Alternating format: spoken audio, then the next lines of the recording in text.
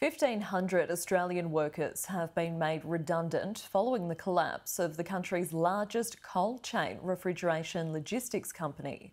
Scott's Refrigerated Logistics, whose clients include Coles, Woolworths, IGA, and Aldi, entered voluntary administration on Monday. After failing to find a buyer, staff were informed on Friday afternoon the company would enter liquidation. It's reported the firm's 500 trucks will all be sold, with the flow on effects expected to be felt right throughout the transport sector.